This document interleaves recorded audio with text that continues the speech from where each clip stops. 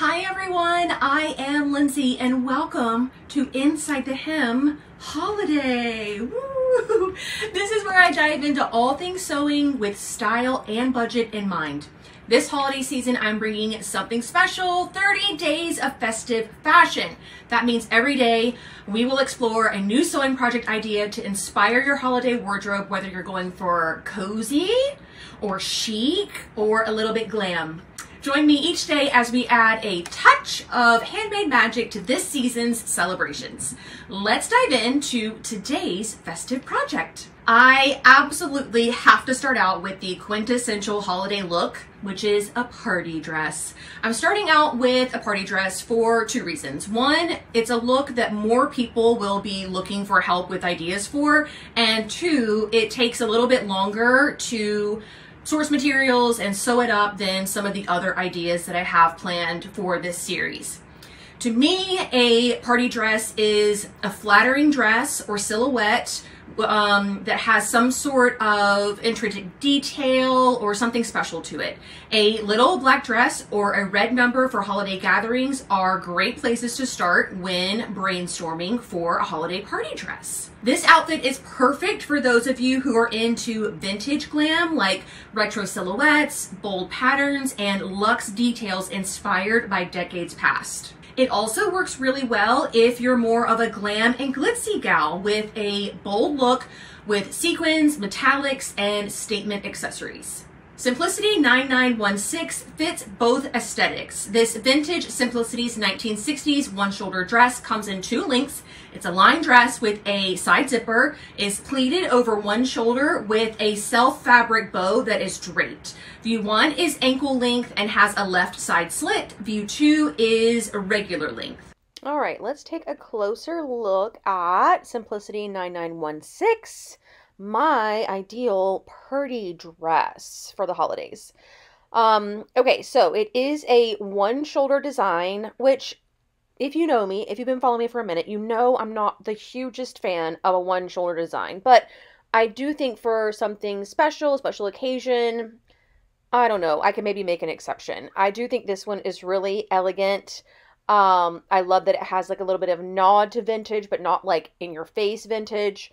Um, and it would be beautiful in a variety of occasions for a vari- in a variety of fabrics. But we have the little pleats that come up into the shoulder here, and then I'm pretty sure this part of the bow, well, the whole part of the bow is like almost like just laid on top, and then this little wrap is what's holding it onto the shoulder. Uh, we also have some fisheye darts in the front. And then you have two lengths. You have the little just below the knee length, and then you have ankle length with a slit on the side. I'm pretty sure the slit has to be on the side and not the back because there's not a center back seam, but we'll look at that whenever we get closer to, whenever we look at these other images. okay, here's the long one again in kind of like a print. Like, doesn't this one, especially with this little like arm bangle, doesn't it look like kind of tropical? Like you'd wear it, I don't know, on a cruise or something? right? Then we have the long white version, obviously suitable for a wedding. The long white gloves are just really special. I think that they look really good. However, if you look at this arm too long, something's not right here. This is her elbow. It's just really long. I mean, whose arm is coming down to their knee? I don't know how that happened, but anyways, the more I look at it, the weirder it looks. Um, this one was a little weird too with this hand, but we're not gonna. That's not the point of this video, okay? this is the short version. Um, still has the fisheye darts. Pay attention to this little detail here. I absolutely love that they added like a little brooch. You could also do like a contrast fabric here, uh, maybe something with sequins or something like that on that little band that wraps around, or you could do the whole bow in a contrast fabric as well. That would also be beautiful. And then here's like a just kind of like fun, flirty, like cocktail party kind of version in butter yellow. All right, they are not giving us photos of the back. So looking here, front, back. So there is a center back seam. So you could move this slit to the center back. I think that would Um, definitely make it look a little bit more column-like, a little bit more chic. Um, but it does also have fisheye darts in the back and the front. So that's what's giving you the silhouette, that um, the illusion of having a waist um, because it's pulling in the fabric at the sides and helping you have kind of like show off your figure a little bit.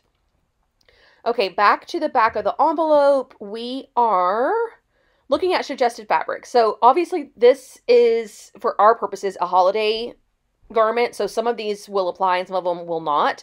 But they're recommending everything from brocade to cottons and cotton blends, crepe, linen, peau de soie, peau de pique, satin, silk prints, silk shantung, silks, synthetics, and synthetic blends, velveteen, and voile. So that really runs the gamut, year long type of options there. I mean, summer will be linen, you know, we have the um where was the well, the silks and all of that are really great for um the holidays, as is brocade. Cotton and cotton blends, that could be like a spring version, summer version. You get the idea. All we need for notions is a 14 inch zipper and some bias binding, which is optional. Um, you uh, yeah you could make self binding i wonder what it's for. I wonder where it goes and why it's optional. That's interesting. We have sizes 6 to 14 i think and then 16 to 24 i think that's what it was. And that is a bust of 30 and a half to 46 inches a hip of 32 and a half to 48 inches finished garment measurements we have both views, bust, waist, and hip. So it looks like, um, what is that? Two and a half inches in the bust. That feels appropriate with those pleats there. And then we're going to skip the waist because with the waist, you could futz around with the um, fisheye darts to help you achieve what you're looking for there. But with the pattern, it comes with two inches of ease, which again is reasonable. And then the hip has two and a half inches of ease as well. So kind of the same top to bottom in terms of ease, which is giving you that column look. I do think that those ease quantities make perfect sense. They are in line with the illustrations. Um, you'd be comfortable, but you would still get the column-like look. Um, if it were me, I'd be fitting based on the largest part of my body, which is my hips, and then I would back into my waist and hips. No, sorry, waist and bust.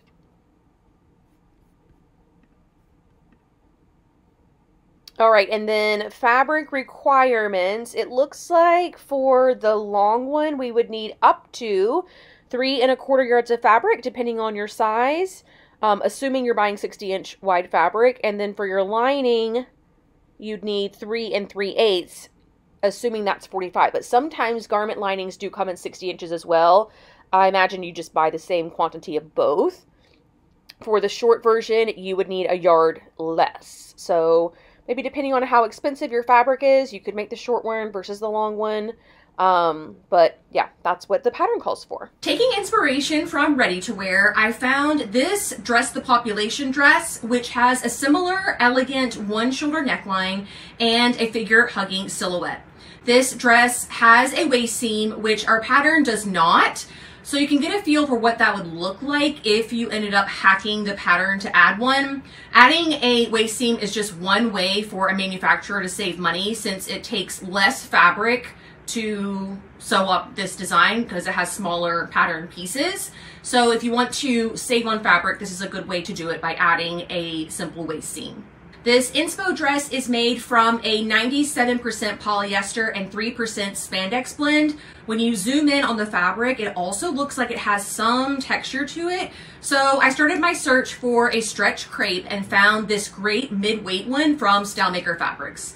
This fabric also has a little bit of rayon blended into it, so it will be a little bit softer and drapier than the ready to wear version, but the weight that it has will make you feel comfortable and confident with its um, with the pattern's body hugging silhouette. And what kind of sewing stylist would I be if I didn't mention that little brooch that is illustrated on the bow in view two? I found one on Amazon that I think would be beautiful with the StyleMaker Fabrics crepe, but feel free to shop some thrift stores in the coming weeks to find something truly special. Who knows, maybe even your mom or your grandmother have something in their stash that would really, really shine. For an even more chic look, if that is even possible, I found this Alexia Maria dress, which retails for $1,500. The thing that separates it from the ready-to-wear look and the dress the population inspo is the dramatics of the bow.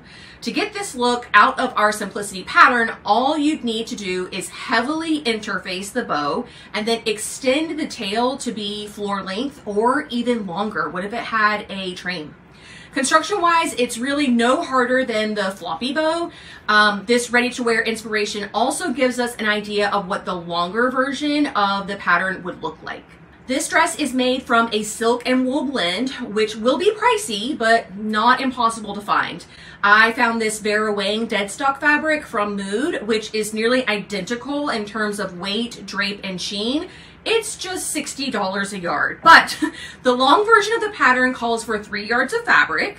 We'll need a little bit more to do the bow extension, but girl math and sewing math, it's still cheaper than the ready to wear version. Our version would come in around $200 for fabric plus the zipper, the interfacing, and the lining costs. Whereas, you know, the ready to wear version is $1,500.